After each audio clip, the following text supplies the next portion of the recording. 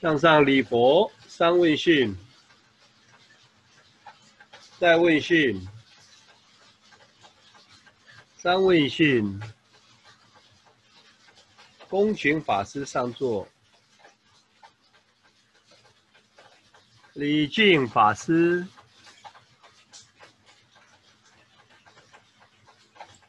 请坐下。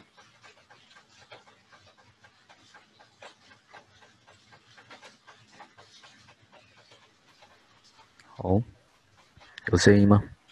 有。好，我们一起皈依发心，请合掌。诸佛正法贤圣三宝尊，从今直至菩提我皈依。我以所修闻法诸资粮，为利有情故愿大觉成。诸佛正法贤圣三宝尊。从今直至菩提，我皈依。我以所修文法诸资粮，为利有情，故愿大觉成。诸佛正法贤圣三宝尊。从今直至菩提，我皈依。我以所修文法诸资粮，为利有情，故愿大觉成。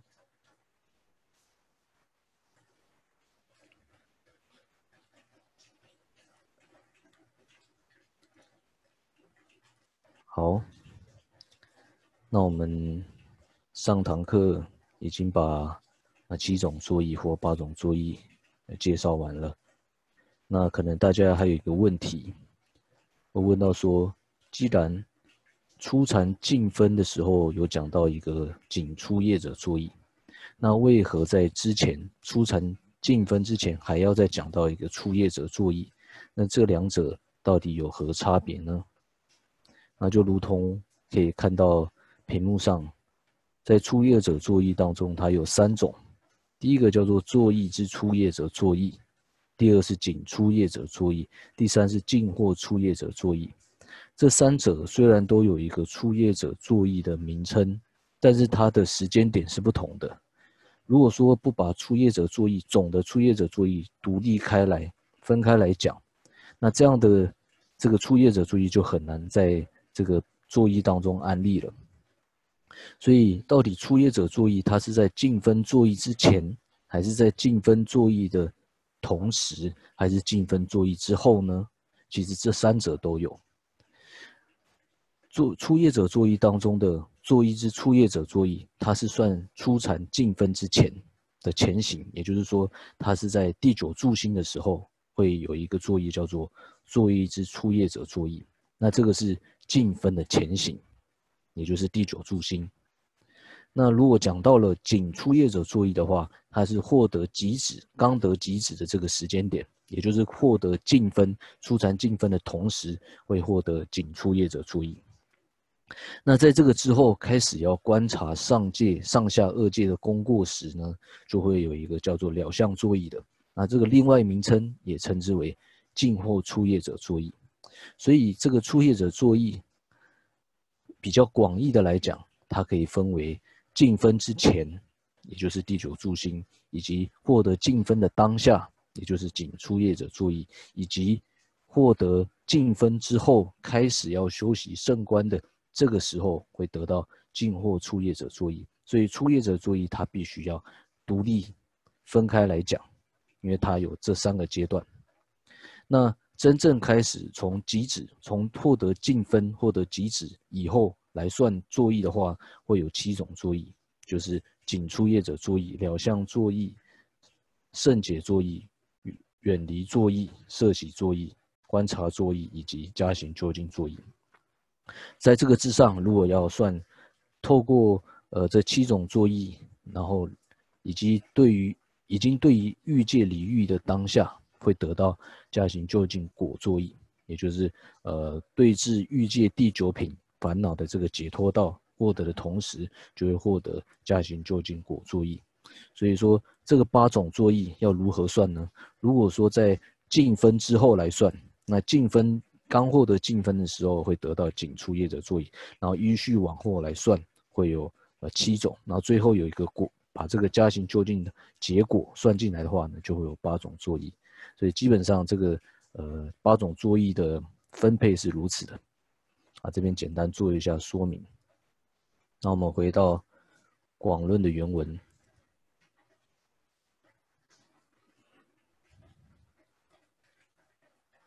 好，我们上次上到三百九十六页，倒数第二行。那这之前就是介绍完呃七种作意，就是获得净分之后的七种作意。那看到最后一行，如是落断软品，这个软品把它改成下品，也就是呃欲界的第七、第八、第九这三品烦恼，称之为下品。下品的烦恼。若断下品烦恼，即是催化一切欲界烦恼现行。当完全断除，或者说对于这个下品的这三种烦恼呢离欲的时候，也就是基本上是摧坏，或者说对于欲界的一切烦恼现行离欲了，暂时无少分而能现起。那这时候已经这种初分的烦恼现行，它不会现起了。然非毕竟永害种子，但是这种离欲的方式。这种观察上下二界功过的方式呢，它不能根本的去断除欲界烦恼的种子。为什么不能断除欲界烦恼的种子呢？因为欲界烦恼的种子，这个根本是什么呢？是我执。那仅仅透过上下二界功过这种观修方式呢，它不能直接危害到我执，因为它的我执的所执境是认为有我，我有地识这一点。但是这种观察功过的方式，它并不能直接伤害到认为有地识的这种执着，所以它不能永断永害烦恼的种子，由此能离无所有处以下诸欲。但是用透过这样的一个方式呢，它确实可以对于无所有天以下，就是无色界当中的呃第三重天以下的。呃，不管是色界也好啊，欲界也好，所有的烦恼都能够离欲，然尚不能灭灭除有顶现行烦恼。但是这种方式呢，顶多就只能对于无所有天以下的烦恼离欲，他不能对于有顶天，就是欲三界当中最高的天做离欲，就是有顶天的烦恼，他没办法透过这样的方式离欲，因为他。虽然说可以观察自界的过失，然而不能观察上界的功德，所以他不能彻底的对于呃这个有顶天的烦恼离欲，何况能得永度生死？那既然对于有顶天的烦恼没办法离欲的话呢，就更别谈到说要能够去断除有顶天的烦恼了。也就是用透过这样的一个出境形象道呢，它是根本没办法脱离三界的。然依禁律。亦能获得五种神通，但是虽然如此，他虽然说不能对于三界离欲，他不能不能脱离三界，不能脱离三界的烦恼，但是他还是可以获得五种神神通，也就是当他获得这是禅定以后，获得禁律出禅的定以后呢，他就可以依着这样一个定去修习五种神通。那譬如说要修习天眼通。那他可以观在定的状态下呢，去观观修这种光明遍遍布十方的方式，那或者说观想身体很轻，那他他就会慢慢会获得神足通。那天眼通就是观想光明遍布十方，那天耳通就是观想声音遍布十方等等。啊，透过这样的一个方式呢，去修习五种神通，恐凡不入。那这样的一个内容呢，是在经曼论有提到。那这样的。这个地方就不揭露了。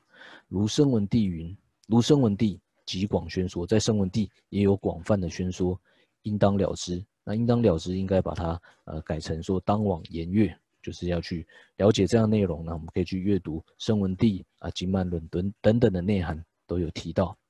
现在无修此等根本禁律之理，故意无有错误引导。那现在这个时间呢？这个时代呢，对于修习禅定这样的一个道理，修习根本禁律的道理，其实呃根根本没有这种广泛的讲解，所以呢，其实也没有所谓的错误引导，因为没有引导可言。然于此等，若真了解，那这边把它调整为：然于此等，非仅文字，若真了解，则于于定易断其途最为利益。那对于以上上述所提到这些修订的方式，如果说能够真正去了解的话呢，那不要说基本的这种禅定呢，对于其他任何的三摩地呢，都能够断除歧途，呃，最为利益，能够对我们的帮助是很大的。如是四种禁律、四无设定及五神通与外道共。唯得此定，非但不能脱离生死，反于生死而为系缚。故于生摩他不应喜足，更当寻求真无我见毗婆舍那。那这边提到的四种禁律、四禅以及四无设定，乃至说五神通等等呢，这些都是与外道相共的。也就是说，外道他也能够获得四禅，也能够获得四无设定，也能够获得五神通，所以它并不是内道不共的修法。唯得此定，非但不能脱离生死，反于生死而为系缚。如果说仅仅获得这样的一个定的话呢，那不仅不能脱离生死，反而还有可能成为生死的系缚。所以，故于色摩他不应喜足。所以不是说我们得到了一个极致，我们就感到喜足，就感到骄傲，感觉好像呃不异于常人，甚至说我们有五通，我们就觉得我们非常厉害了，有殊胜的成就。其实这都是错误的见解，更当寻求真无我见毗婆舍那。在这个之上呢，应该要去寻求所谓的无我见这种实相的呃毗婆舍那圣观。众位广知。修出禁律等根本定法，然于前说色摩他或名作意法，定当了之。虽然说我们没办法很广泛的去了知这种修习禅定的方法，但是对于之前我们提到这些修禅奢摩他的这些次第办法呢，或者说这种所谓的作意，也就是极止这些方法，我们都应该要去了知的。此是波罗波罗蜜多甚深经中所说九种助心、中观修次之所建、之所建立、之所安立。哈，如前已影。那这些内涵呢，都是依着就是大师在奢摩他这个地方所提到这些修行的次第、这些抉择，都是依着波罗波罗蜜多圣身经典的教授。然后把它整理出来的，所以里面提到的九种助心也好，或者说中观修次中初中后篇所提到这些修订的内涵，都是依着这些经典来建立的。所以在之前都有引导。那又庄严经论及无着菩萨与菩萨地大乘对法设抉择分解比意趣。那对于经典的内涵呢，也依着经庄严论，还有一些无着菩萨所造的一些实力论。声闻地、菩萨地等等这些大乘的对法、对法藏，还有色觉抉择分，也是无著菩萨所造的。那都依着这些的呃过去传承祖师的意趣来做解释的。又色觉者分与止观二法指声闻地，故声闻地解释最广。那在色觉者分当中，也就是菩无著菩萨所造的《瑜伽师地论》色觉者分当中提到有关止观。二种修法呢，它大部分都指向了声闻地所提到的，也就是说，在声闻地里面讲的内容是最广的，所以很多经典的、很多的论著里面都提到说要去研阅圣文帝所提到的，呃，所解释的内涵。又此注意《中观修次论》及《慧度教授论》一成宣说。所以有关这样的内涵呢，不管在呃莲花戒论师所造的《中观修次初中后篇》，以及这个先帝法大师所造的《慧度教授论》都是这样讲到的，所以辩中辩论说，由八段行断五过理，修色摩他法，精善观比等诸心要义，略示一二，全无杜撰。所以辩中辩论这个弥勒菩萨所造的辩中辩论提到的，透过八种断行来断除五种过失，这种修习色摩他的方法呢？今天上观彼等诸意，上观彼等心要义，略示一二，全无杜撰。所以，如果说能够依循的这些教理，仔细的去观察这种修习生活它的方式以及它的要义的话呢，其实全部都是没有杜撰的，完全都是依着这些传承祖师的教授来把它呃整理出来的。现在修禁律者，且无此等之名。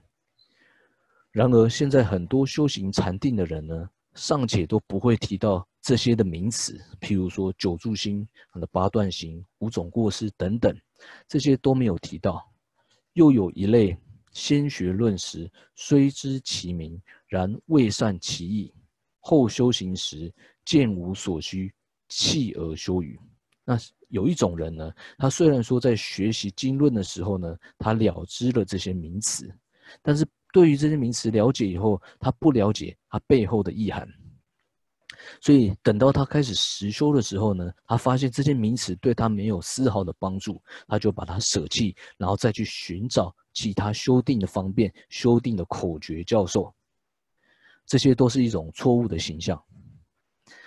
又有众多略得直品所设正定，便为以得空三摩地，获得内外所供。第九住心定，便为以得无上于切，具众德相圆满次第，即位以得根本，后得合杂无间无分别智，皆是未能善解之相。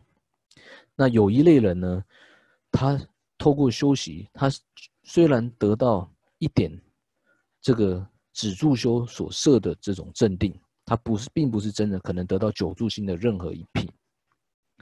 然后认为说，就变，于是就认为说，我已经得到了所谓的空三摩地。那空三三摩地就是我们之前讲的，沿着空性的这种极止，沿着空性的三摩地。他认为说，他只要得到了极止，就是得到了沿着空性的三摩地，获得内外所供第九住心，便位以的无上瑜伽具众德相圆满次第。啊，或者有人认为说，他仅仅得到了第九柱心，就认为说自己已经获得无上瑜伽当中所提到的圆满次第的内容，然后就认为说自己已经得到了根本厚德合杂无间无分别智，也就是我们之前有提到说，根本根本智以及厚德位、根本定以及厚德位能够合杂无间的只有佛陀，就是根本定、厚德位，它都能够。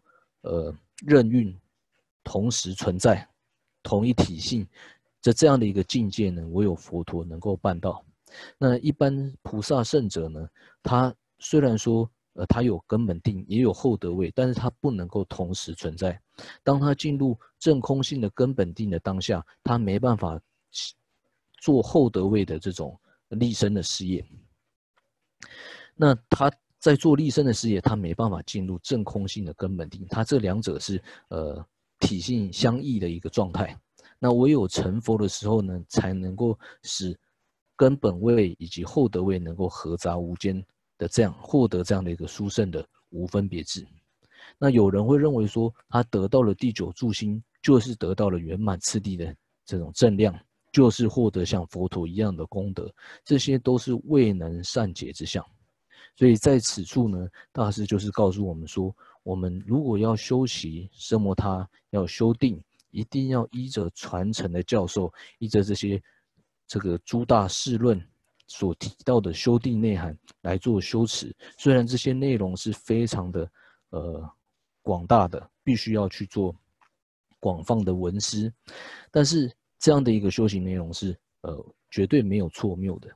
那。有些人认为说，我在修行的时候呢，只要寻找这种很简单的口诀教授，我们只要容易上手就可以了。其实这些修行内涵可能都会让我们导向歧途，所以一定必须要依着传承的教授来做修持。若于上说善得定解，则不因其假说修无所缘、无相了义、美妙名称而生误解。那对于这些传承的教授，如果能够善加了解，并且得到定解以后呢，就不会因为某些好像自称为得到了禅定、有神通的这些，呃，自称为导师的一些人呢，就不会因为他假说修无所缘，他认为说，哎，我只要我我这样修行就是叫做修无所缘，然后修习空性的了义内涵，然后有这样的一个美妙名称。然后我们就会认为说，哇，这就是一个真正修行禅定无错谬的方法，然后而产生误解。若能识知此定之意，便能了知其途，其非其途。故于此诸定量教说，修三摩地次第，应当善巧。所以说，对于这样修定的道理，它的义理呢，如果能够了知的话，我们就能够去分辨所谓的真正的修订方法以及错误的修订方法。所以，对于这些定量的教说，三摩修习三摩地的次第呢，我们都应该要善巧，要善加的去学习。好，那以上这个地方就是呃告一段落了。那最后做了一个总结寄送，《经籍广释论》，《经籍广释论》善说修订轨，因文简直故，狭会未能解。反为此经论无无分别教，不与有处求，无处求未得。那这边讲到的经籍广释论，也就是说在经典以及过去的这些那兰陀寺的传承祖师所造的诸大的释论，里面都已经非常呃善巧的说宣说了许多修订的这些这些方法教授。那因为它的文字呢非常的简洁，非常的深奥，所以我们我们智慧很狭隘的人呢就没办法善加的了解。然后反过来会说，这些经论、经典、大论当中都没有讲说这种修订的方便，这个无分别教就无分别教就是指这边无分别就是指无分别定，也就是机指，在经经论当中没有提到修订的教授。不与有处求，无处求未得，然后变成怎么样的一个形象呢？不与有处求，不与经典经论当中有讲到这些修订教授的地方去寻求，反过来找那些邪门外道的老导师去求这些所谓修订的教授，无处求未得，从那些邪邪门外道。去寻求修订的方法，然后认为说我们自己得到了修订，得到了极致，尚且未能辨内外道定内外定差别，况能善分辨小乘及大乘？那这些没有传承教授的修订引导呢，尚且都没办法去分辨说所谓的内外道定的差别，何况说能够去善加分辨小乘以及大乘？乃至说显教以及密教种种三摩地的差别，所以见此故显说大论修订法。所以大师看到这样的一个状况以后呢，才在这此处呢特别去彰显经论当中所提到的修订方法。所以看起来，什么他的这个篇幅才会变得这么大。才会这么仔细，看起来似乎很复杂。然而，为了要彰显大经大论所提到修订的内涵，所以大师花了很大的力气把它整理出来。九习大论有莫舍至珍宝，所以对于这种长久修习大论的学者，千万不要弃舍我们自家的珍宝，而取他假时，愿是宝自有。然后反过来去寻求其他那种所谓自称有修订方法这种假的宝石，希望大家能够知道，是这这些珍宝，这种修行的教授珍宝呢，我们自家就有了，应该从自家这些佛陀所讲的经论当中去寻求。佛见楚儒学，别无教授意，藏文著林乐，愿观察彼意。所以，佛陀看到说，除了我们能够去精勤的学习这些教授、这些经论，没有其他的教授的方方便了。所以佛陀非常非常的赞叹，能够听闻多闻，我们广学经论，并且住在灵手之间，然后去呃修行，愿观察彼意。无分别之道，修法与修量，未得善了解，渠劳修定时，尚需医治者，如实之修法。所以希望说我们能够去观察经典所提到的这些义理，这种所谓无分别止修止的方便。那它的修法为何？修修的量为何？修起之量为何？如果说对于这些道理都不了解，未得善了解，然后经花了很大的努力去修习禅定的这些人呢，这些愚切士呢，尚且需要依循智者所讲的道理，如实知修法，如实了知这些过去传承祖师所讲到的这些修法，否则暂修习于教损害小。那如果不是这样的话呢？那祈请这些自称为智者的人呢？那宁可不要出来弘法，暂且休息，这样子反过来还对于教法的损害小。如果说对于经教的道理不了解，没有传承的教授，那出来弘法的话，反而会造成教法的损害。所以宁可希望他们就呃好自休息，不要出来讲法。此尊无着论。所说修止法为圣教久住，故今略解释。那在此处所提到的一切修订的方便呢，全部都是依着十尊弥勒菩萨以及无着菩萨所造的诸论所说的修订的方法。那为了能够使圣教久住，所以故今略解释。大师说，在此处呢，就做一个比较。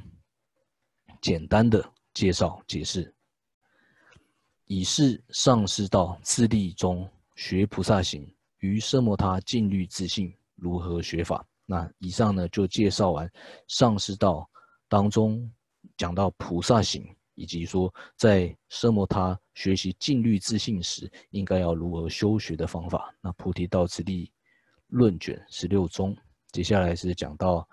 菩菩提道次第广论卷十七，如是为以如前已说正什么他心于一一缘，如其所欲安置而住，无诸分别。好，那以上呢就是已经完整的讲完了奢摩他的修行方法。那我们这个地方就简单的一个做总设，那我们可以从。科判的地方来看，比较容易收摄。好，那我们可以看到科判。首先讲到别学后二波罗波罗蜜多，那也就是学习止观的部分。那在学习止观的时候呢，首先我们要知道说为什么要学习止观，所以要了解学修习止观的胜利。那修习止观的胜利是什么呢？在广论里面主要提到的就是，不管是大乘、小乘，说一切功德，它都是从止修以及观修所产生的。所以，我们要获得一切的功德，它的根源就必须要来自于止修以及观修。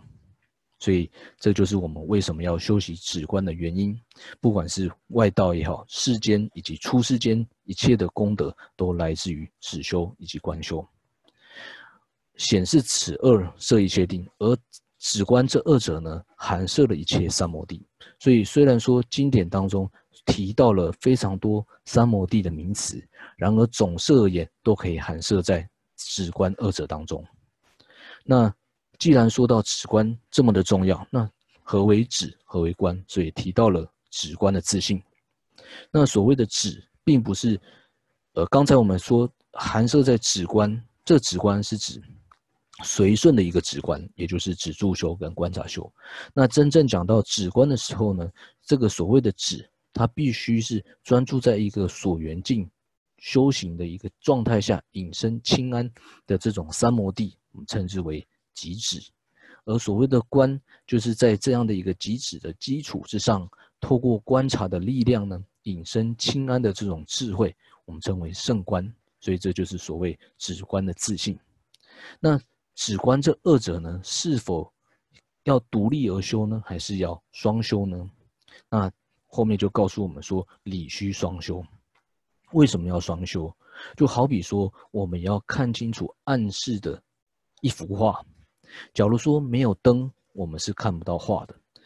假如说有了灯，但是风一直吹，这个这个蜡烛一直晃动的话呢，我们依然看不清楚画像。所以我们必须要有光明，有智慧的光明，所以要有光。在这个观，要要有能够清楚的观，就必须要有极致的这种布幕能够挡住煽动的风，我们才能够有专注、能够清楚照明的观产生。所以这二者必须要双修的。而这二者要能够双修，它的次第为何呢？是先修止还是先修观呢？那要升起圣观之前，必须要极止，所以它的次第为何？就是必须要先升起极止以后，进一步才能够修习圣观。所以这二者的次第，止观二者的次第，在显教来讲，就是先修止才修观。虽然说在无上密的讲法来讲，止观二者是可以同时升起的，但是在此处。显教来讲，那止观二者的修行次第是先升起止，才会升起观。那再来，我们就提到了个别学法的部分，就是要仔细来探讨，呃，如何去修习奢摩他的部分，那如何去修习圣观的部分。那圣观的部分呢，后面在毗婆舍那的时候会讲。那再就是说到了修习止的部分。那修习奢摩他，它可以总的来讲分为三个部分。第一个要想要修习升起巨量的这个极止，必须要有修止的资粮。提到的就是必须要有一个休止的很好的环境，还有休止的条件，外在的外在的条件以及内在的条件。那说到外在的条件为何呢？他必须要住在随顺处，那必须具备五德之处。那这五德为何呢？第一个，他必须。要能够易于获得饮食、医药等等，就是我们这些资具，它能够获得。所以我们要修止的时候，我们要先找到一个好的住处。这个住处呢，不是非常的偏僻，不会说让你找不到饮食、找不到水，然后你为了寻找这些水而疲于寻找这些资资具，没办法安心的修定。所以，首先这个地方要能够易于获得。饮食、医药、资具等等，再来这个地方没有猛兽，没有怨敌，没有恶人，你不会受到这些惊吓，不会受到危害。第三呢，它必须是一个能够水土相服，就不会有水土不服这种问题，不容易生病的一个地方。如果太过潮湿、太过干燥、太过炎热、太过寒冷，都可能会造成疾病，所以要找到一个。这个温度适中的一个地方，再来呢，在修行的时候呢，能够有一个借鉴相同的助伴。在一开始初修的时候，呃，最好有一个助伴是比较好的，至少有一个助伴是比较安全的。所以，啊，这个助伴呢，必须要和我们的借鉴相同，它是一个良善的一个助伴，不会影响我们修行的助伴。再来第五个，就是这个地方呢，它必须要非常的寂静，白天没什么人。那夜晚的时候呢，甚至虫鸣鸟叫都听不到，是非常安静寂静的地方。那这是指到修行的处所。我们首先真正想要升起奢摩它的话，要找到一个能够具备这样条件的一个场所。那这是指外在的条件。那内在的条件要具备什么呢？第一个，我们要少欲、知足，能够断诸杂物，要能够戒律清净，然后断诸贪等分别。所以说到了少欲，我们对于饮食、医药或者说我们的卧具，能能够过得去就好了。少欲知足，能够安乐，然后戒律要能够清净，然后断诸杂物啊，这时候手机啊，然后这些外在的一些啊杂物，我们就必须要放下了，就不能再去接触它了。那再来就是要断诸贪等分别。那如果说我们很容易随着外在的境界起贪嗔烦恼的话呢，那我们要修习定也是非常困难的。所以这时候呢，要尽量去断除这些，呃，首先可能要先离境，离境以后，如果心还会攀缘，那我们就要对治我们的心，要透过一些修法的方式啊，比如说，如果说贪心重的人啊，必须要对治，要升起呃这种不净观等等。的方式，那去对治我们内在这种粗重的烦恼。那以上这个就是指，呃，具备内在的条件。那有了这样一个条件，外在以及内在的条件。哦，说到外在的条件呢，在掌中解脱里面也有提到，如果说要修止的话，可以找到过去传承祖师闭过关的地方，那这个地方是具备加持力的。那在这种闭关也是这种地方闭关也是很能够很容易升起呃这种正量的。所以如果能够找到这样一个地方地方闭关是最好的。那具备这样内外的条件以后呢，那只要。依循的正确的方式去修持，那最快最快在呃六个月当中就能够升起极止，这是在经典当中所提到的。好，那再来第二个提到了一止资粮修什么？它具备了这样的内外的条件以后呢，我们要如何依着这样的一个条件去正修什么？它那，首先讲到了加行以及正行的部分。那所谓的加行，也就是指前行。前行就是指我们的动机上的调整。那动机应该要以怎么样一个动机来修行呢？因为修止它本身是与外道相共的，所以要如何别于外道？最下最下必须有皈依的摄持，进而能够有出离心的摄持，在最好是能够有菩提心的摄持。那说到了皈依。那这个皈依为何呢？并不是说哦，我相信三宝，仅仅如此就是有皈依了。我们这边所谓的皈依，它必须要是知以皈依，并不是不知的情况而去皈依。所谓的知以皈依，就是说我们必须要知功德、知差别、自是受、不言有余而正皈依，它要必须具备。归二因，在此之上了知三宝的功德，了知三宝不共于外道的差别，然后能够发自内心的去皈依，并不归于皈依其余的外道，具备这样的一个条件下来做皈依，而并不是一种迷信的方式来做皈依。所以这边的皈依，它必须是一种智慧所摄持的信心。那说到了出离心的摄持。这个出离心又何谓出离心呢？那如同在三主要道当中所提到的，修以轮回，修以修以故于轮回诸盛世，虽仅刹那，希愿亦不生。昼夜恒常，希求解脱心，此生起时即为出离心。所以这边提到的，能够对于轮回的种种的盛世呢，虽仅刹那，我们都不会升起。这种希求之心，并且能够在昼夜恒长希求解脱。当这种心能够任运无碍的现前时，不不造作的现前时，就是出离心升起的一个征兆，或者说出离心升起的一个量。这是大师在三主要道当中所提到的。所以这样的一个心，就是对于轮回的盛世，我们要产生厌离。并且在这之上，昼夜恒长的希求解脱，这样的一个心，我们先从造作升起，进而慢慢不断的熏修，让它变成变成无造作的情况时，就是出离心升起的一个量。所以有这样的一个出离心摄持的话，这样的一个修止，它就能够成为解脱之因。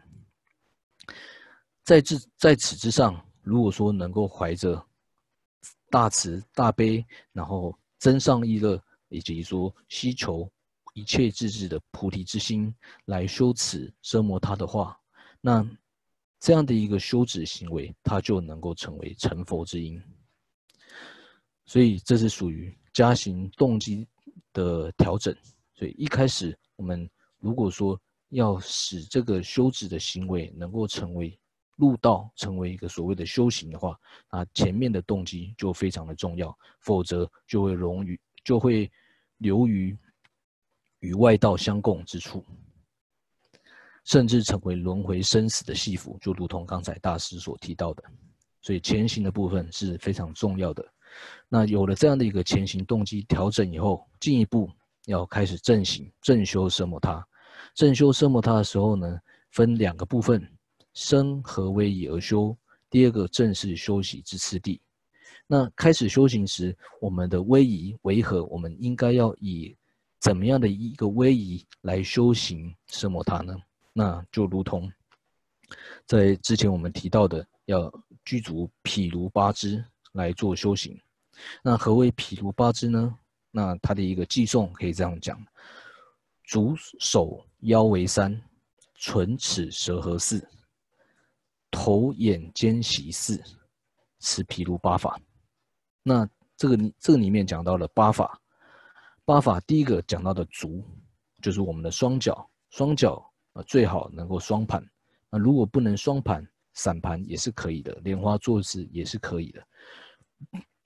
然后我们的坐垫后面应该要垫高，这样子我们才坐的才能够坐得久。那这是属于足的部分，足手腰为三，再来手手应该要如何放呢？手应该要放掌置于脐下四指的部分，那大拇指相对放在肚脐肚脐上，这是手的部分。腰应该要挺直，那因为我们的气，呃，应该怎么讲？我们的身正，气就能够正，气跟心是同一体性的缘故，气正心就能够正，心正就不容易散乱昏沉。所以说，呃，腰应该要挺直，足手腰为三。再来就是讲到唇齿舌合四，唇齿应该要自然的合闭闭合。舌头应该要顶着上颚，那这加起来有四法了嘛？唇齿舌合四，再来头眼肩息四，头头要怎么摆放呢？我们下颚应该要稍微向内缩，百会应该要隆起，眼睛观视，眼观鼻，鼻观心，也就是说眼睛它可以直，它直接看到的就是呃我们的肚脐的位置。肩肩膀应该如何放置呢？肩膀就自然平放即可。那再说到的习，第八法习，这个习呢，如果说习不一定要，如果说我们观察我们内心，呃，是非常的散乱，那有诸有诸多的妄想妄念，这种情况下就必须透过数息的方式去做调整。那这种数息方式呢，就是将我们的心专注在呼吸之上。一呼一吸，一呼一吸为一，那如是数息，或五或七，乃至二十一，这种方式，通过数息的方式，将我们的心达到平静，然后断诸妄想分别。那这属于生威仪、生和威仪而修的部分，以毗卢八支来做修行。再来进入正式修习的部分，正式修习之次第。那这个这个部分呢，简单来讲，呃，分两个部分：隐身无过三摩地法，第二个一比隐身住进次第。那隐身无过三摩地法也提到的就是应该要断除五种过失，应该说以八断行断除五过失。那这可以，呃，八断行断除五过失就含摄在升起无过三摩地法当中。那首先提到的。细心所缘，先如何修呢？这边提到的第一个过失，第一个过失就是指懈怠。这个懈怠呢，就是我们不好要修行三摩地。所谓的懈怠，就是于善法不好要。那在此处的懈怠，就是对于修行三摩地不好要。那要修对治这样的一个懈怠，要如何对治呢？透过八段行当中的四种断行，也就是性、欲、情。安四种方式，所谓的性，这边的性指的是说，对于升起三摩地有怎么样的诸多功德，升起信心，有了信心，他就会耗药，所以就会有欲，欲求三摩地，想要得到这样的一个殊胜三摩地，然后有了这样的欲求心，在修行的时候，我们才能够具备精进，精进就是于善法好要，还有精进力，透过精进力产生的一个结果就是清安。那有这个清安，这个三摩地就能够让它相续而不断，所以要对治懈怠，就以四八段行当中的前四种断行：信心、欲乐、精进以及清安这是一种方式。所以细心所缘，先如何修？在还没有开始缘所缘之前，我们应该要去思维三摩地获得的获得极致到底有怎么样的一个殊胜功德。对于这样的功德，我们内心产生信解，产生好要，才会产生精进，接着才会认真的去修行。所以这在还没安住所缘之前，应该要修行的部分，就去思维这个修行三摩地的功德，让我们内心产生好药。再来住所缘时应如何修？进一步，那我们既然有这种好药，已经想要精勤的修行时，就要开始安住所缘了。所以住所缘时应何修？应如何修呢？明心住之所缘，以及心于所缘如何安住？要住于所缘当中，我们要先知道说所缘为何，才能够去安住。所以所缘为何呢？从两个部分来讲，总建立所缘跟此处所缘。总的来讲，所缘，总的来讲，所缘，在广论当中提到的就是四种总的所缘，也就是周遍所缘、进行所缘、善巧所缘以及尽惑所缘。那周遍所缘是指含摄在所有止观当中的所缘，不管是有分别影像也好，无分别影像，无分别影像指的是极止的所缘，有分别影像指的是圣观的一个所缘。然后事边机性跟所作成办，也就是说，对于任何一法，譬如说五蕴能够含摄一切有为，然后呃十十一处十八界等等能够含摄四谛。诸多的内涵，最后有一个结论。总而言之，就对于诸法去思维以后产生的最终的结论，叫做所作成办。呃，是边际性。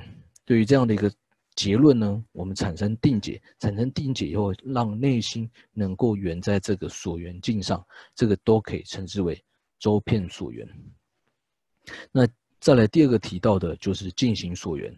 那进行所缘就是对于不同的烦恼。我们要掀起不同的对峙，做不同的溯源。譬如说，贪心出众的人，我们应该要先去修行不净观；嗔心出众的人，应该要先修行这个慈悲观；愚痴重的人要修行缘起观；那慢心重的人要去修行戒运等差别；那妄想分别重的人要去修习属习观等等。那透过这样的一个方式，先将这种。比较出众的烦恼对峙以后，那进一步心才能够安住在我们应该要圆的所缘境上。所以这也包含了显示何等普特伽罗因缘合境。对于不同友情、不同的一个心境，我们也要应该要起不同的对峙来做修行。这属于进行所缘。那善巧所缘，那它也可以含摄在对峙呃缘起观的，就是对峙于此缘起观的部分，对运处界还有。处以及非处，它的取舍一种了知，对于无我内涵的了知，所以这个都可以含摄在缘起观的部分。那尽惑所缘所提到的，就是在获得极止以后，应该要去对治欲界的烦恼，然后去希求上界的功德，所以提到了出众形象以及说这个第十形象的修法，这属于呃尽惑所缘的部分。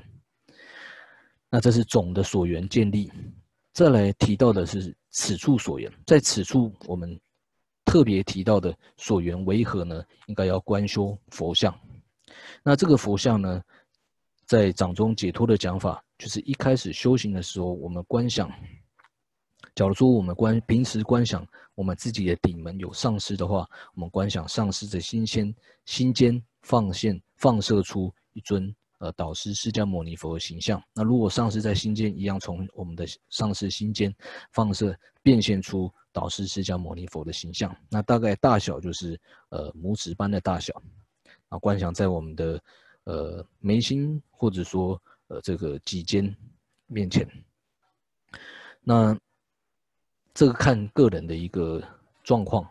如果说觉得说观想在眉心前比较容易散乱的话，那我们可以试着把它放到这个我们的脊肩、肚脐面前来做观想。那这个就是看个人的情况来做修持。那像我有一个经验，我会觉得说，呃，观想在眉心前的时候，确实比较容易散乱。我个人，所以我有时候会把它放低一点，大概在肚脐面前。那这个在掌中解脱当中也是有提到的。那一开始在观想的时候，也不用。马上要把佛像关得很清楚。如果说呃佛像完全现不起来的时候，我们先找一尊我们觉得看起来非常悦意、非常庄严、非常喜欢的佛像，然后我们把它牢记在我们内心当中。然后正是在观想的时候呢，并不是说眼睛看着佛像来做观想，而是将这个影像呢现起在我们心里面。那我们在观想的时候是观想内心所现起的影像，所以在修止的时候，这个所缘境也是内在的一个影像，并不是外在的影像。所以眼睛是否睁开、闭闭上，或者说是否看佛像，已经没有直接关系的，因为它的所缘境是内心的一个所缘。所以一开始这个佛像在我们心里现起来的时候，可能它并它是残缺不全的，它没办法很清楚的明现，但是没有关系，一开始有一个粗粗的轮廓，然后能够有一个粗轮廓以后，就将心安住在其上，然后等到心慢慢能够定住以后，在这之上我们再慢慢的补上补强，让它变得一个完整的佛像，这样子来修就是可以了。那这是使直到。呃，此处所缘的部分，再来心与所缘如何安住？那这边提到的，主要就是说，我们必须要能够对治五种过失的第二种过失，就是妄念的过失。那所谓的妄念，譬如说我们现在要观佛像的话，如果说我们妄念，我们就始终没办法牢记这个佛像，所以这时候要怎么办？必须要以正念的力量，让这个佛像能够现前。所以说到了这个念。这个念就是所谓的念，它就是于串习事，心不忘为相，不善为业，所以它是对于一个，它具备三法三种特色。第一个对于串习事，如果说这个佛像我们都没有去串习它，也就是说我们没有去熟悉它，没有让它牢记在我们内心的话，我们想要观修它是根本不可能的。所以必须要对于一个串习事，这个串习事就是我们要想要观观修佛像的话。我们就必须要把佛像不不断的去牢记它，把它烙印在我们内心当中，所以要不断的去串习佛像的一个形象。那刚才漏讲的就是为什么要观修佛像？它本身是一个进藏集资的最好福田，然后我们这样编修的过程，能够累积广大的福德，并且有随念佛的功德，然后在临终的时候就能够苦受莫能躲，因为。我们时常意念佛像的缘故，对于呃这个佛是非常有感觉的。在临终的时候，佛陀他就能够救拔我们，因为我们的信心的缘故。啊，顺带一提，所以总而言之，一开始我们必须要熟记佛像，所以是于串习时，我们必须再在的串习佛像的一个形象。再来就是用靠我们的念力，不忘为相，它是能够尽量的让这个佛像牢记在我们内心，不不会忘记，不上。不善为业，它产生的一个结果就是产生的一个作用，就是能够使我们的心不散乱。所以在心与所缘如何安住的时候，它要对峙的是妄念。我们必须要把佛像牢记，然后在修习三摩地的时候呢，三摩地的一个特色，它必须是呃有助分的，接着有明显利分，有明分，还有利分。那在此之上，有人可能会认为说。呃，有一个沉静分呢，有所谓的乐乐受。那这个其实，在在立无过归以及破有归有过归的时候，就有提到了沉浸分，它是属于明显分当中，明显立分当中，所以它不需要另外出别开出来讲。那这个乐分呢，乐它其实是属于透过助分明分之后产生的结果，所以它也不需要含摄在三摩地当中来讲，所以。主要在讲到三摩地的时候，它是要有助分跟明显立分这两种的。然后在这个时候呢，我们必须要将我们的心，我们心如狂象，将我们的心透过正念的绳索，将这只狂象呢系在于呃坚固的锁缘柱上。那坚固的锁缘柱就是我们所谓的佛像，在此处所缘就是佛像，将我们的心系于这个。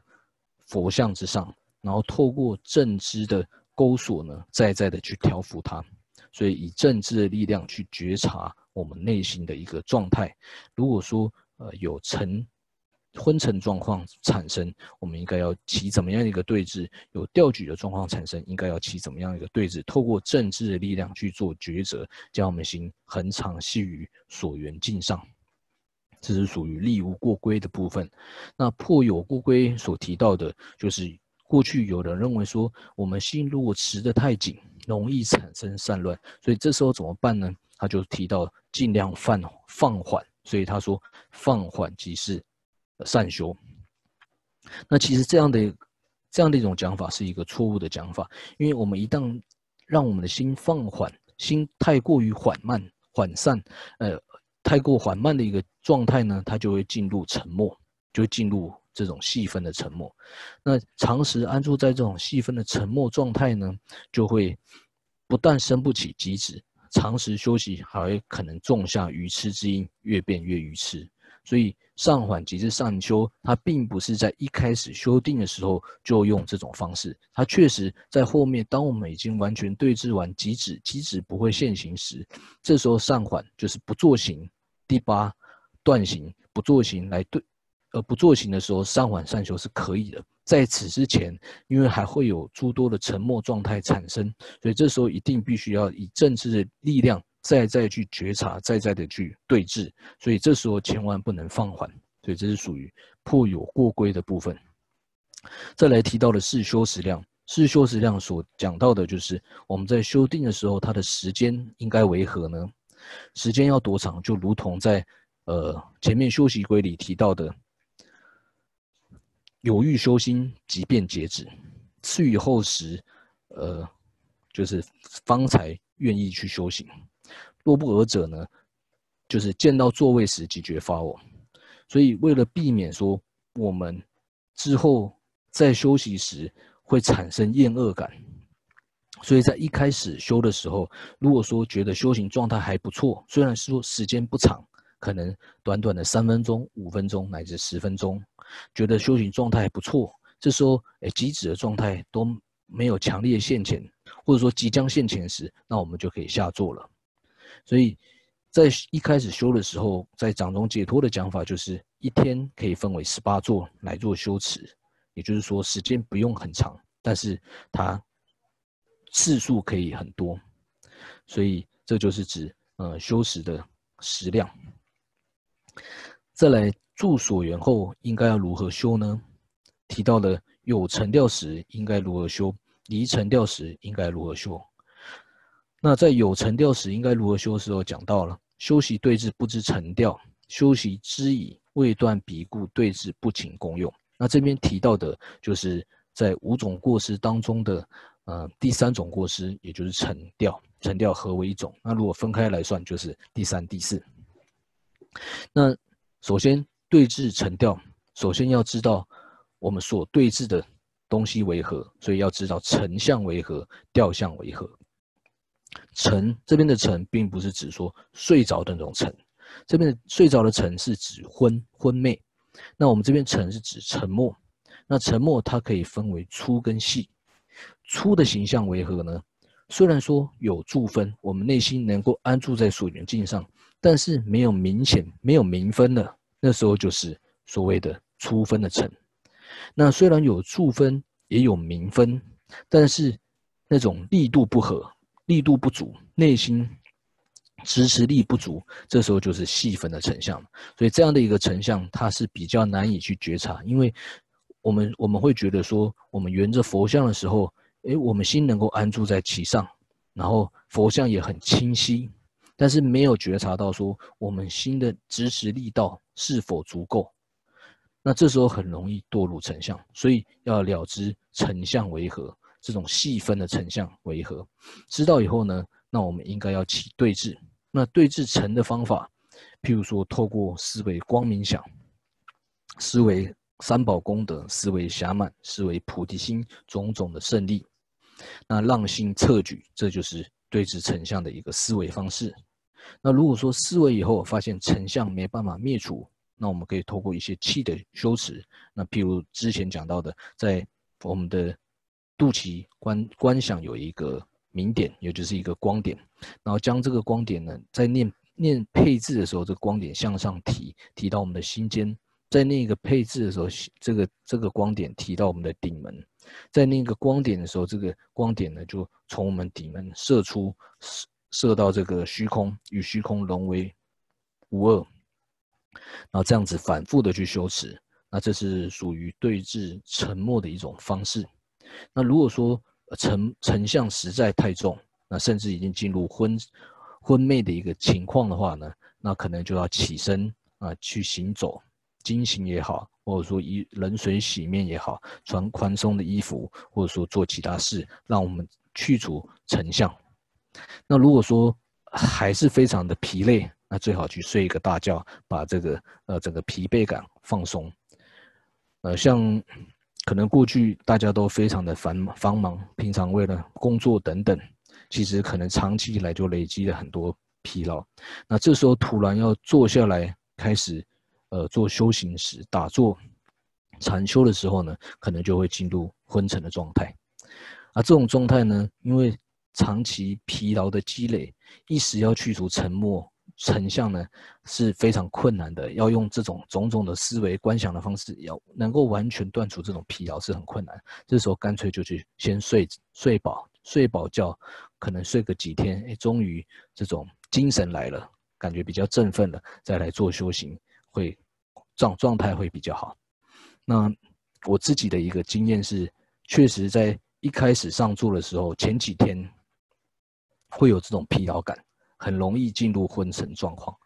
那但是之后作息调整了一下，哎，睡眠时间比较够了以后，再上座，慢慢这种昏沉的状况就会减少了，它就会慢慢上轨啊，这种呃疲惫感就会消失了。所以这也是呃一个方法。好，再来说到了调相，那所谓的调呢，它是镜像水转，贪分所摄，不净为相。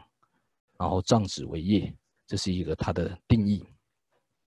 所以它是随着镜像随随着镜像，所谓的镜像就是乐意相，我们觉得很乐意的这些境界，我们心会随它而转。那它是属于贪心所设的，然后它产生的一个形象就是内心会不洁净，然后它的作用就是障碍升起机制，所以是障子为业。所以呃，不管是掉相也好，或者说我们所谓的夺或者流散。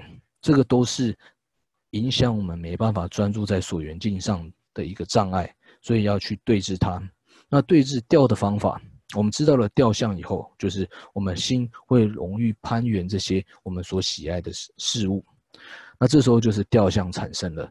掉相产生的时候，应该要起的对治是为何呢？就是应该要去思维无常啊，思维轮回苦啊，思维恶趣苦等等。让心能够稍微平静的这些法类，那如果再不行，可以透过气的修持。那怎么修呢？就如同我们之前讲到的，呃，将上下二气上上面的气吸进来，下面的气上向上提，然后将这个上下二气集中在我们的丹田，然后持气，尽量持气，那不行就吐出，那这样算一，然后再依序这样子。一吸一吐，然后持气，算二，然后再这样反复做，那直到我们的心已经能够专注在这个气质上，不会再随随着外境这些去我们所喜爱的事物去攀援时，那这也是一种呃对峙调的方式。那如果说啊这样还没办法对峙调的话，啊，这种情况下可能就要起坐了，就是不要再继续在坐上，啊，就要起来，然后做一些其他的事情，然后转移所缘，让这种呃掉的情况不要继续发生。好，那这边就是抉择完沉调之相，也说完对治沉调的方法。那于正于正修时生觉沉调正之方便。那这个沉调相的产生。我们要如何去觉察呢？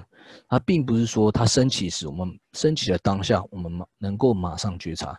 如果说我们对于沉掉的形象不了解，当它出现的时候，我们也不会发现。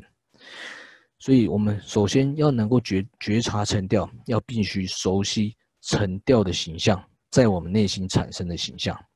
然后，如何去观察呢？我们必须要以正知的力量去做观察。那说到了正知。什么叫做正知呢？这个正知它是必须依着正念而起的，而这个正知它就是观察我们的三业的一种一种觉照力，也就是觉察我们的三业。那这个觉察三业呢，并不是说我们在修止的时候我们才要觉察。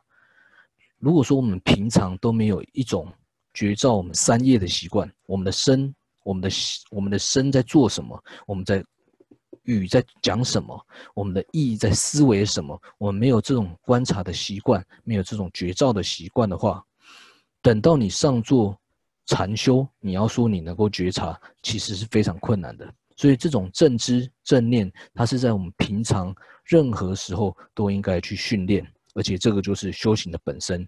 因为如果我们想要修行，如果没有透过正知正念的力量的话，我们无法以法境来制造，我们就不知道说我们现在到底处于怎么样的情况。我们想要来生得到善趣之身，想要获得这个真上身。我们这生必须要努力的造善业，要持守境界。那这个持守境界，它必须透过正知正念的力量去觉照。所以，如何觉察我们现在是否在造善业呢？造善业并不是指一个外在的行为，而是指我们内心是否是升起善念。如果是随顺于。贪嗔痴所起的所谓善行、布施的行为，这个都是称之为恶业。但是如果说我们是升升起的无贪、无痴、无嗔的一个情况，所起的任何行为，它都可以是善业。所以这样的一个心念抉择，并不是从外向上来判断的，它必须要唯有透过自己内心，以正知的力量，在在的觉察。所以观察我们内心，关照我们内心，就变得。非常的重要，所以要在死亡的时候要能够有把握，要确保来生能够投身于善趣善趣。平时我们就必须以正知的力量，烁烁的觉察，烁烁的关照，我们内心到底是处于怎么样的一个状态？我们的身、我们的语、我们的意是否随顺于正法，随顺于善念？所以这个正知，如果平时我们就能够训练的话，在禅修的时候，这个正知就能够容易的觉察沉掉之相，所以这是平常必须要时常去锻炼的。再来提到了修习之矣，未断彼故对治，对治不请功用。这边说到了，就是我们既然知道沉掉相产生以后呢，并不是说知道就放着而已，知道以后应该要起对治，所以这边提到了。第第四种过失，也就是不作行。那说到了不作行，它的对治法什么呢？就是作行。不作行就是说我们不起对治。那它的对治方法就是应该要起对治。所以我们知道了沉掉以后，我们应该要起对治。所以讲到了证明其思灭沉掉法，就是我们刚才讲到的对治沉掉的方式。然后再来说到了明能生沉掉之因。之所以会产生沉掉，它一定有它的原因。它的原因在广论里面提到的，就是譬如说，呃，饮食不知量，然后不勤修好恶于且不具正知等等。那这些都是会产生哦，还有一个没有密护根门，那这些都会产生沉掉的，都是会容易产生沉掉的原因。所以如果说真正想要升起极止，那当然要密护根门。然后饮食质量，勤修好恶于且，然后要具备正知、正念，这种情况就比较不容易产生沉掉。然后最后提到的离沉掉时应如何修，就是当我们透过这样的对峙以后，渐渐的沉掉慢慢的远离了，那已经几乎沉掉不会现行的时候呢，这时候如果说在意强烈的方式以。就是用正知在在的观察的话，这样也会影影响到我们的助分，所以这时候呢，就应该要起一个对峙。这时候的过失就是坐行为过失了嘛，所以他的对峙就是要不做行，要修行舍，就是不要再以正直在在的观察。那这就是属于离尘掉时因如而修讲到的呃第八种断行不做行不做行的方式来对峙做行。好，那这边就说完了。呃，以八段行来断除五种过失，所以整个在修行极止的过程，无非就是断除五种过失，然后以八段行的方式去断除。那它的过程一。接着后面讲到的一笔引申助心次第，它可以含摄在呃九种助心当中，所以提到了证明引申助心次第就是九种助心。那这九种助心是透过六力还有四种作意来承办的。前面第一助心内助，它是透过听闻的力量，那能够让心稍微助于所缘，是内助。然后第二个续助是讲到了透过呃。思维的力量啊，让我们的心能够稍加恒长的呃安住在所缘境上。那后面提到的安住、静住等等，那它它它是透过应该说这两力是透过呃正念的力量。那后面后面两力调伏极静是透过正知的力量。那再来讲到的最极最低调呃最极调幅心一静心一静性这些是属于精进的力量。最后。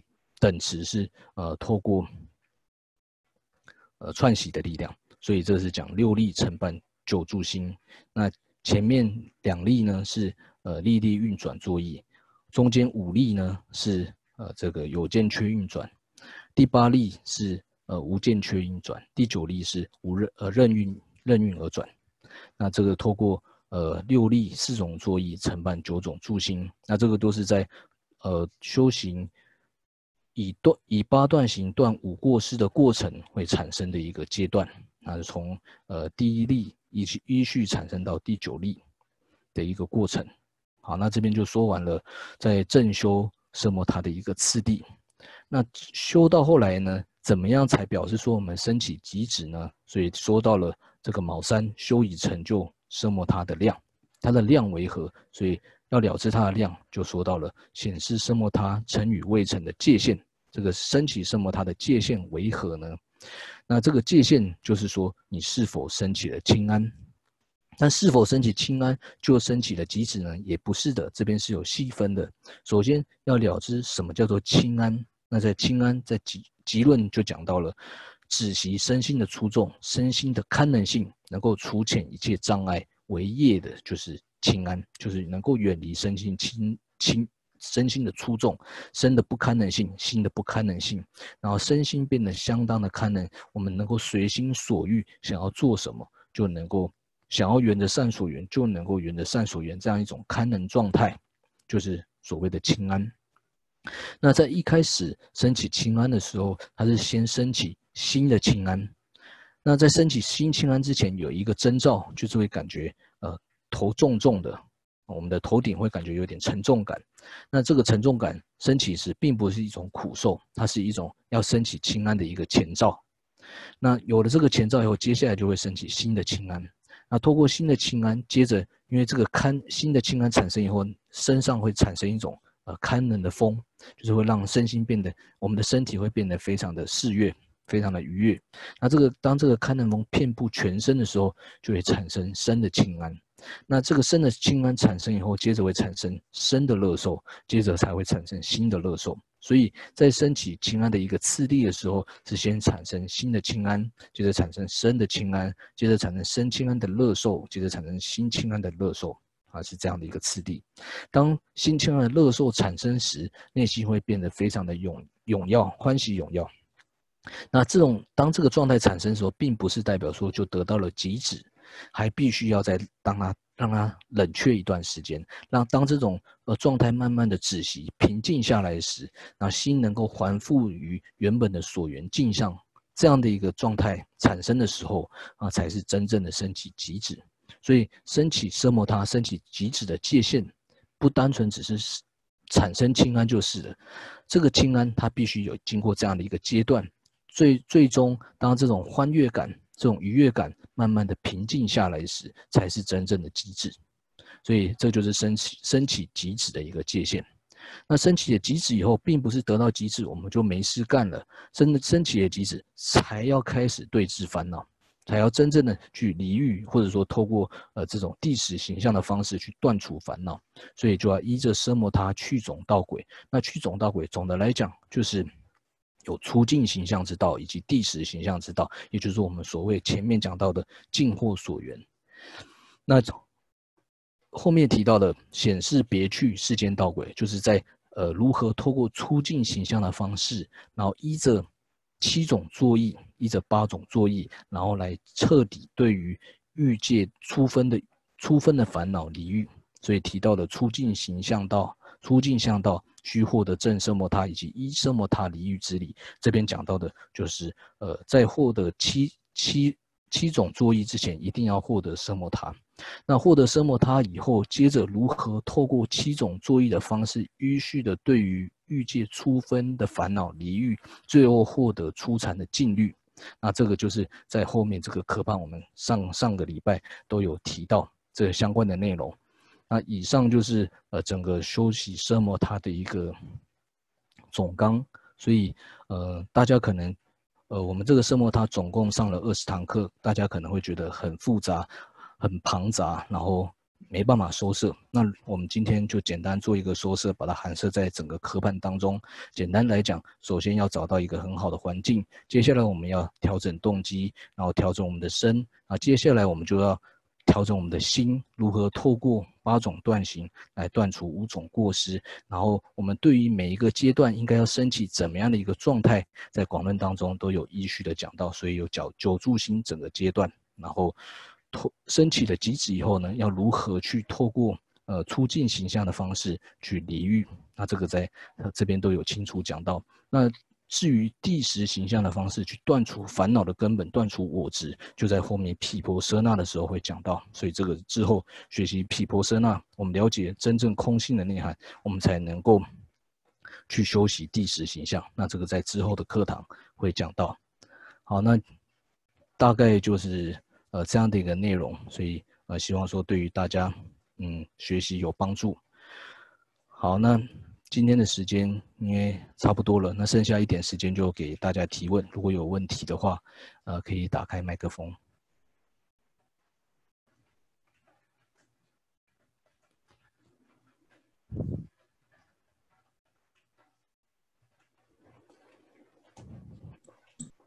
法师，请教法师，那个三百九十六页这边，呃，这个地方其实是在解释那个。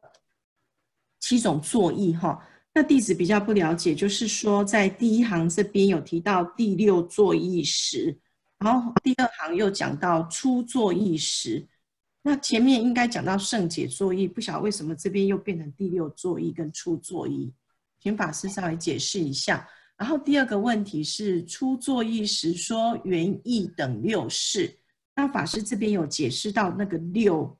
六世嘛，哈，那六世里面有一个是，呃，讲到性相的部分。那性相里面有分自相跟共相。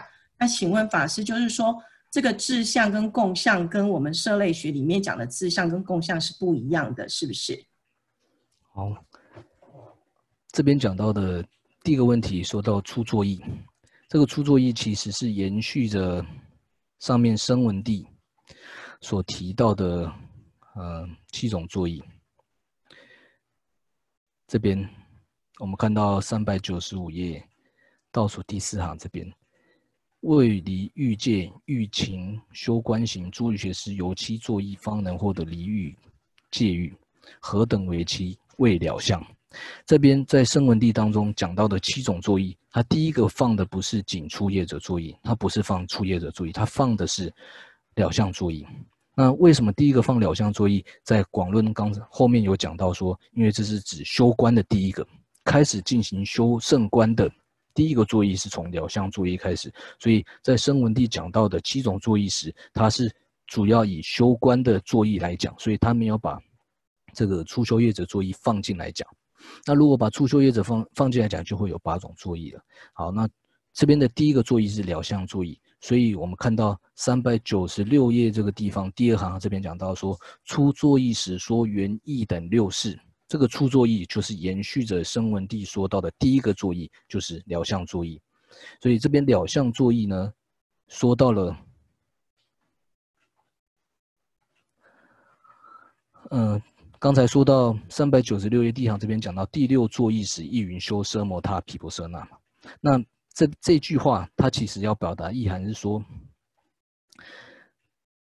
在前面讲到这么多作意，讲到说圣解作意嘛，它这个都是要修行止观的。那包含在第六座义，在在第六座义，也就是讲到了观察座义，或者说加行究竟座义，都是要修行止观的。所以这边只是强调说，在这边讲到说第六座义时意云修止观，这个意思就是说，这些作意都是止观双运的，都是要双修的意思。那接着了，接着提到初作意时原六原一等六世，这个初作意是了相作意，从了相作意开始，就要透过六世来去观察下界的过失以及上界的功德。那这个六世当中提到的性相。也就是自相跟共相呢？你说是不是跟涉猎学当中所提到的自相共相是一样的呢？其实不完全一样的，因为在涉猎学所提到的自相共相呢，它是依着经部中的一个角度来安立自相共相。那经部中的自相跟共相的角度，就是只要是实事的，只要是无常的，都是自相；只要是常法的，都是共相。所以说这边并不是指这种所谓呃。观察自相共相是从无常跟无常跟常法的角度来做观察，并不是这样的。这边讲的自相共相所指的是说诸法不共的一个性相，叫做自相，就是能够表征每一法不共的一个形象，能够能够表征诸法不共的一个性相，称为自相。譬如说以瓶子来讲，它的性相是大腹扁足，能装水，这是一个瓶子的自相，就是它这个这个一个性相能够。特别不共来表征瓶子，透过这样的一个形象呢，我们可以知道这个是瓶子，它不会是其他其他法的一个性象，它只能是瓶子的一个性象的缘故，所以我们称之为自相。那所谓的共相，它是指共通于其他法的一个一个性象，譬如说无常，而不是不是无常，譬如说空以及无我，空即无我呢，它可以在每一法能够表征每一法。呃，四谛四四谛形象当中讲到苦谛的形象，说到无常、苦、空、无我。那无常、苦这两者，它是苦谛的一个自相；而空跟无我，它不仅是无常的一个能够表征表征苦谛的一个相，也是能够表征即灭道的一个形象。所以说，它称之为共相。所以这边的自相跟共相，跟社类学讲到的是不完全相同的。谢谢法师。哎，法师请教一下，就是在得到极子之后，不是有两种修法，一种是出境形象，一种是那个出世间的地识形象。那这两种修法是一定要先修出境形象，再修后面的地识形象，还是说可以不不修出境形象，直接修后面的形象？好，我大概就问这个问题。好。这个在，嗯，这我们上次在广论有讲到的，就是说，虽然说有这两种形象，但是前面的出出境形象并不是一定需要的。但是呢，第十形象就是说要脱离轮回，出境形象并不是一定需要的，但是第十形象是一定必须要的。所以，上次在哪边看到？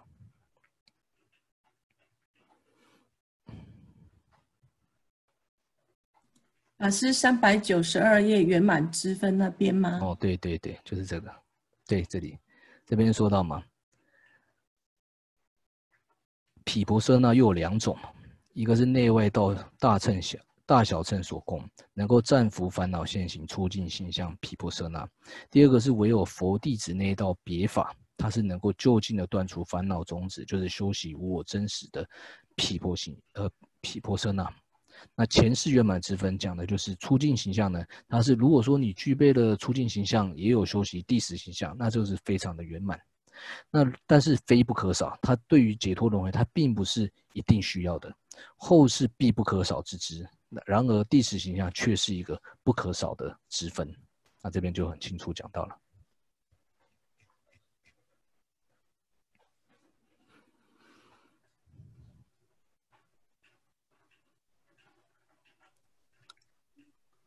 好，法师，那再请教一个问题，就是一般像我们要得到奢摩他这些资粮、这些环境，对一个居士来讲，实际上是有困难的。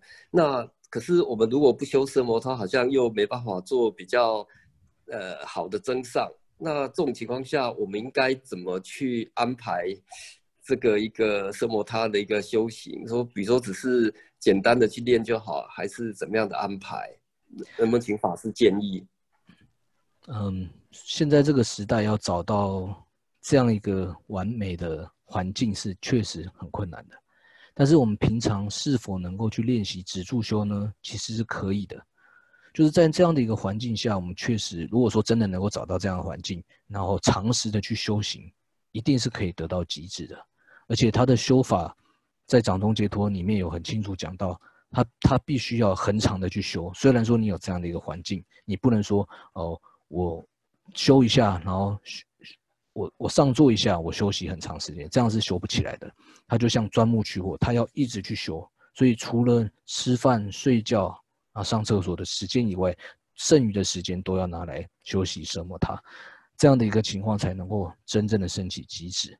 但如果说这现在这个时代，呃，时间环境都不允许的情况下，我们要如何去休息、折磨它呢？其实还是可以去练习止住修的。这个时间不一定要很长，每天可以花个呃三五分钟、十分钟等等，然后去练习。呃，去休息、摄摩它的内容。譬如说，我们沿着佛像，试着让心能够专注在这个佛像上，呃，乃三分钟、五分钟乃至十分钟，这样去练习也是可以的。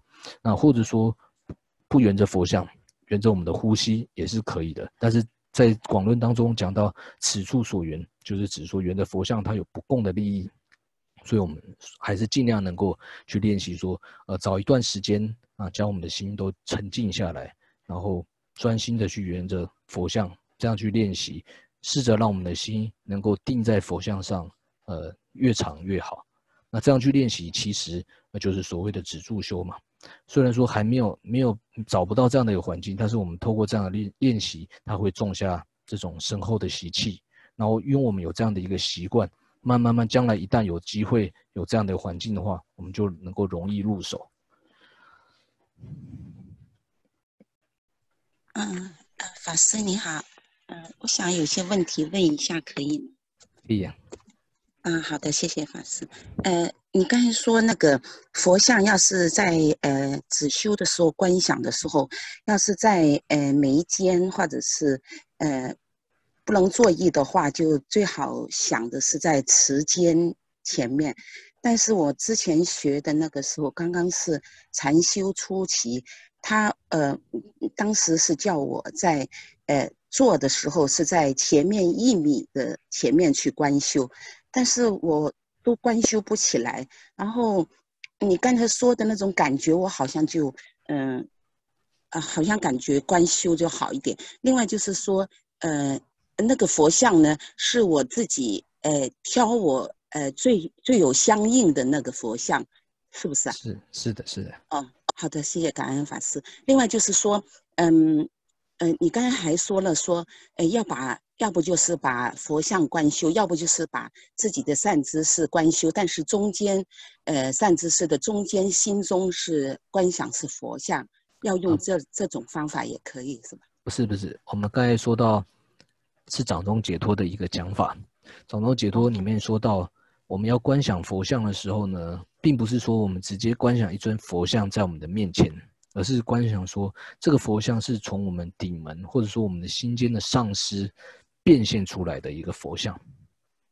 所以，其实这样的一个缘起，就是说我们在观修佛像的同时，也在修习上师相应法、依止法，就是上师跟佛其实是无二无别的。我们现在观想的佛，它其实就是我们的上师。我们的上师其实就是佛陀，所以这样的修习，同时也在修习一智法，嗯，上师相应法。哦，就是呃，要是修习上师相应法的话，就用呃观想呃观想自己的呃善知识是跟佛无无二无别，用这种方法。如果像你刚才说观想那个佛像的，或者是只修的话，就用佛像或者是你相应的一种。呃一个一一环佛像，就其实其实没有所谓的如果是怎样，其实就是要这么修。就是我们在观想佛像的时候呢，这个佛像是我们我们相应的一尊佛像，我们把它牢记在我们内心。那真正在观想的时候，是观想它从我们心间的上师，或者是从我们顶门的上师变现出来这样的一个形象。所以，这个观想佛像其实就是在观想上师，观想上师就是在观想佛像。好的，感恩法师，谢谢。嗯，法师想请问一下，就是，嗯，当我想做这样的练习的时候。比如说，面对着这样的一尊佛像，嗯，法师刚才有说，呃，都可以拿几分钟的时间来练习。那，嗯，弟子看着佛像的时候，还有心里边应该是一个什么样的状态呢？法师，谢谢。心里面，嗯，就是专注虔诚，然后没有其他的杂念。就是我们心要什么形象呢？当我们沿着佛像的时候。我们有这样的一个所缘，我们心能够安住在上面的时候，我们要以政治的力量去觉照，政治力量要觉察说我们心是怎么样的一个状态，是否心能够细心于佛像之上，还是说心跑到其他的所缘境上了？所以这时候心是怎么样，就是一种境警惕的一个状态。他除了沿着佛像本身有这样的一个信心存在之外，还要留一一份心，要去观察说，我们现在心是否还能够安住在佛像上，是否有产生掉相，有助分，有明分，是否还有利分，然后是否有调举，种种的一个状态，都要用以政治的力量去做观察，所以就是这样的一个状态。好的，法师，感恩。那是不是还要就是用眼睛把佛像的那个记住呢？不是 眼睛，就是用心把佛像的那个样子，是这样的一分一分的去记吗？还是怎样？在上座前就要把佛像的形象牢记在内心，并不是说上座以后才在开始看佛像，那时候太慢。上座是要观察我们的心是否有安住了。那在上座前就应该要把这个佛像的形象已经牢记在我们心里面了。然后上座时就开始正式观想我们所记下来的这个佛像。哦，好的，法师。呃，法师想请问哈，呃，我好像我们这些修行人呐，我们在修修到得到极止了之后，或者是将禅的时候，那修行的人是不是呃要进入初禅呢？意思就是说，如果呃，进入了初禅的一个修行人哦，他已经造了这个不动业，叫他来生的话来讲，一定会投胎到这个呃无色界或者是色界吗？如果说仅仅只是用出境形象的方式来修行的话，得到了极致，或者说得到了初禅，这个就是造下了不动业，没有错的。那造下这个不动业，因为我们没有去对治。烦恼的根本，所以这样的一个不动业，它依然是投身于轮回的业，所以来生就会投身到色界或无色界。但是如果说我们修习了极止，它并不是只是停留在对于欲界烦恼离欲这样而已。如果说在这之上能够去修习无我的圣观，去空修习空性的圣观的话，它就是能够断除轮回的根本，它就不会成为投身于轮回的。一个能引业，就不会因此再投身于上界，投身于这个，呃，投身于这个色色物色界。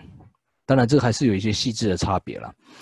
嗯，基本上，如果说对于欲界离欲的话，那他还是还是有可能投身于色无色界的，这是没错的。但是如果说持续的修修持这个。无我的毗婆舍那的话，虽然说投身于色界，他依然会去继续他的修行。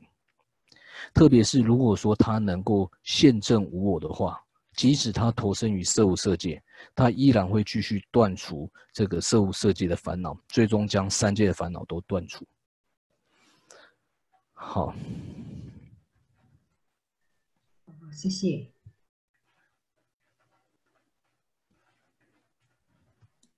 法师，请教您那个就是三百九十三页，弟子对这个啊，就是那个初修业者这个部分有一点点疑虑，就是说，哦，因为在略论里面哈，它有它有分说，呃，初就是对这个初修业者，初修业它分成作意初修业跟净烦恼初修业。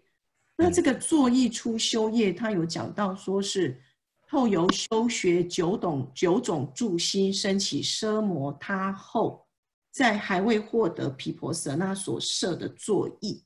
对，弟子这个有点不太懂，就是他到底是在我们之前讲的那个啊法师给我们的那种八种作意里面。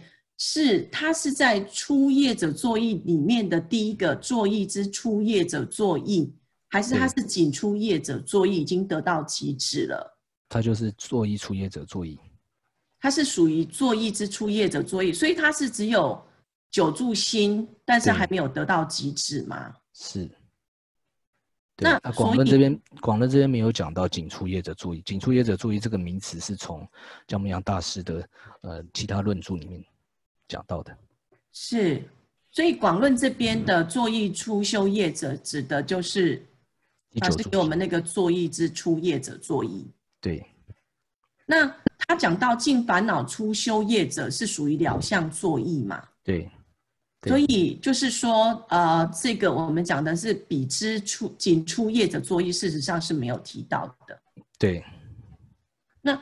老师，请问哈，因为略论里面又讲到第一净律的净分跟第一净律的作意，那哎，弟子不是很很懂这两个东西的差别。他讲到第一净律的净分是从呃作意出修业，一直到加行就净。那第一净律的作意是从个别了相一直到。呃，加行就近果作意，那他讲的是说这两个东西是四句型的关系，所以嗯，应该这么讲呢。从初禅的净分一直到初禅、二禅、三禅、四禅，它其实都有这样的一个作意存在的。也就是说，这七种作意在初要获得初禅，它透过七种作意修持断除。欲界烦恼，它可以获得初禅。同样的，要从从初禅进入二禅，它一样要透过七种作意才能够获得二禅。所以说，二禅它一样有净分。所以在讲到第一净律七种作意，或者说第一净律出净分的七种作意，这两个是层次上的一个差别。所以单单讲到了相作意，一直到加行究竟果作意，这个同样的在二禅、三禅、四禅。乃至说无色界都是存在的，所以，呃，第一第一净律，也就是说初禅的初禅的七种作意跟初禅净分的七种作意，它是层次上的一个差别嘛？这样了解吗？了解，所以一定是净分之后才会产生那个果。对对对。好，了解，谢谢法师。好，那因为时间差不多的缘故，我们就先到这个地方。好，那我们一起回向。生生由圣中科巴为作大乘之势力，愿于佛赞上闻道，虽刹那顷不暂舍。我知师长中科巴或居兜率，或极乐，任处何处胜净土。我等愿生眷属手，出悟广大求多闻，中现经教皆教授，后尽日夜遍熏修，为弘圣教遍回向。至尊师长受坚固，竭尽事业遍十方。上会教法如明灯，常破三界众生暗。大众请起立。